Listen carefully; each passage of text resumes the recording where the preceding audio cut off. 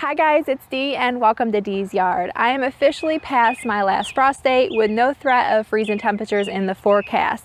And it is finally time to plant my grapes on my arbor that I built a few months ago. And if you want to check out that DIY, I'll make sure to link it here as well as down below. Grapes can be broken down into three basic varieties, American, European, and Muscadine. American grapes such as Concord or Niagara are the most cold hardy, while European grapes are usually better for wine versus the table and do best in warm, dry, Mediterranean type climates. Another type grown in the US is the Muscadine, which is native to the southern United States and was the first native grape species to be cultivated here in North America. So let's see what grapes I went with.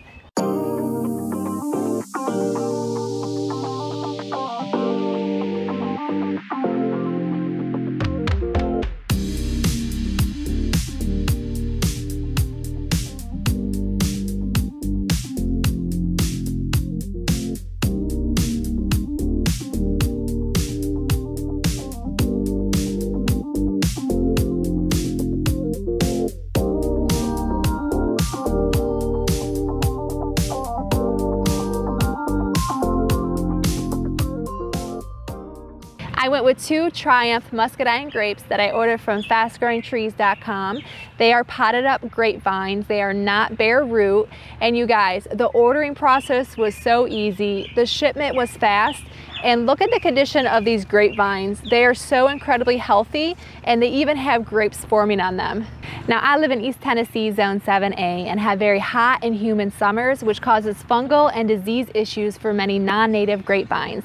For this reason, I chose to go with a grape that is native to the southeastern and south central United States where the muscadine grapevine is well adapted to their native warm and humid climate also needing fewer chilling hours than other known varieties and thrive in the summer heat. And not to mention that muscadine grapes are a superfruit. They have very high levels of antioxidants and all varieties of muscadine grapes are great to eat fresh, but also wonderful to make jams, jellies, pies, juices, and wines. I chose Triumph, which is a bronze self-fertile cultivar. It is cold hardy to zone 7 and it is very disease resistant. Now, if you only desire or have room for one vine, make sure you choose a self-fertile cultivar Otherwise, you'll need additional vines for pollination purposes. Triumph has a medium-large berry size and has a definite pinkish hue and an early to mid-season harvest date. This is considered a high-yielding vine and the fruit is very sweet and contains 18% sugar. When determining where to plant, select a site with full sun. If you don't have a spot with full sun, make sure it at least gets morning sun. A small amount of afternoon shade won't hurt. When you plant your grapes is dependent upon how you buy them. If you have dormant bare root grapes, you want to plant them in the early spring or late winter as soon as the soil warms up and you can work the ground. Because I have already potted up grapes, I'm going to plant as I would any other shrub or tree. Dig a hole two to three times the width of the root ball, but no deeper than the root ball height.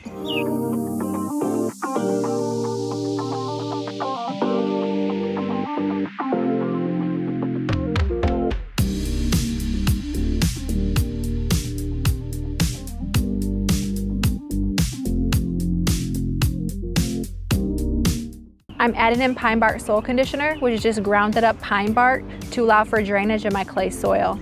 I'm also adding in some organic compost to the planting hole. And just before planting, I add in some Bio-Tone starter fertilizer to help the roots get established.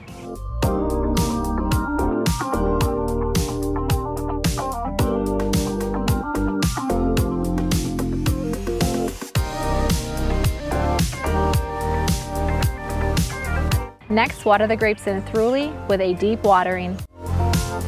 No matter where you plant your grapes, you need to give them plenty of support to keep them growing strong.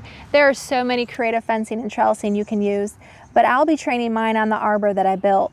Whichever way you train your grapes, be sure to provide them proper air circulation to reduce the risk of disease. The absolute best time to prune your grapevine is late winter, early spring while the vine is still dormant. Although pruning may seem counterproductive, it is very important to prune your vine and prune every year.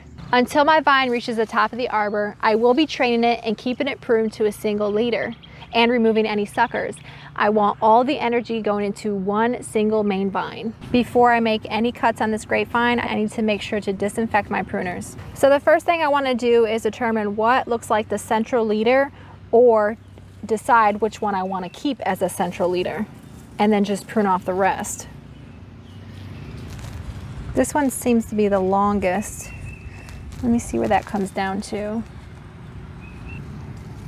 Okay, so I've decided I want this as my central leader.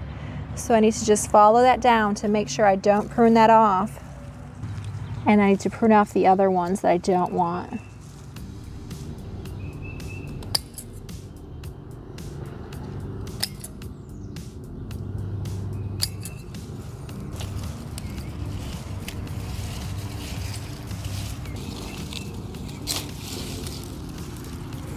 So again, this may seem super harsh, but this is gonna be better in the long run because I don't want grapes producing all over the place.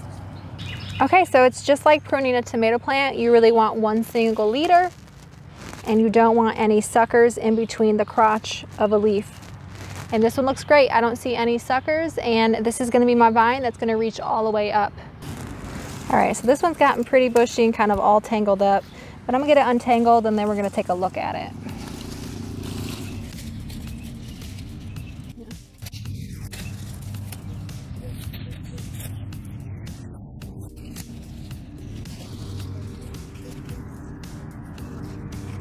Originally this looks like this was a central leader.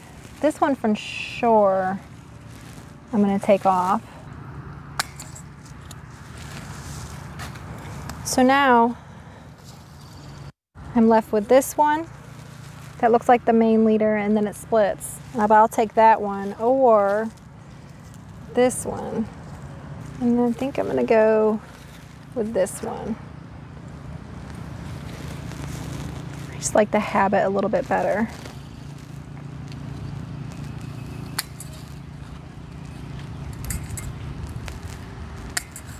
Okay.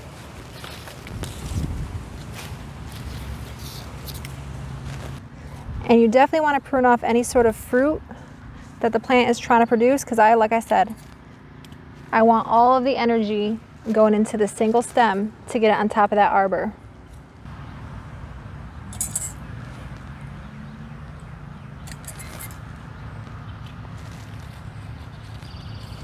Looks like they're trying to produce some more fruit here, so we'll remove that.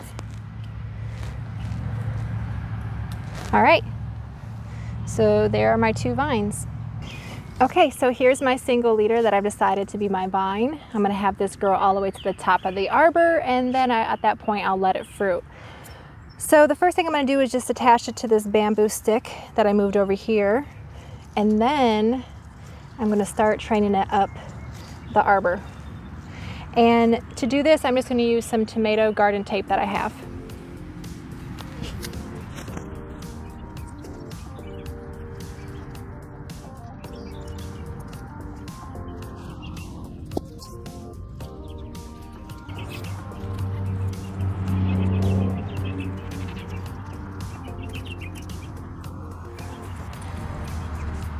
So let me just recap on everything I just did. And I know that looked like it was counterproductive because I cut off all the berries for this year's harvest. But that's what I need. I need it down to a single stem so I can send all the energy into this to reach all the way to the top of the arbor.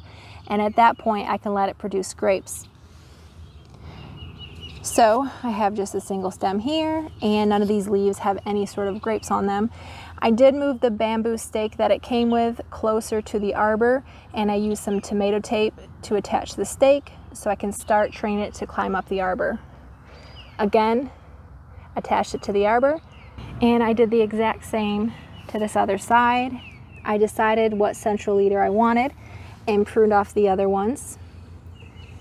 And then I moved the bamboo stake that it came with over here closer to the arbor, attached some tomato tape and again here to start training it up.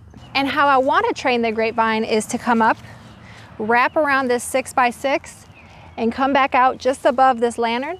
And then on top at that point, let it fruit and let the grapes hang. Same thing on this side. I want the grapevine to come up, wrap around the 6x6 and come up just above the lantern. And at that point, let it go up to the pergola to fruit. I'll keep you guys updated on the progress of my grapevines as well as to show you how to properly prune in late winter. Thank you guys so much for watching and I'll see you in the next one. Bye.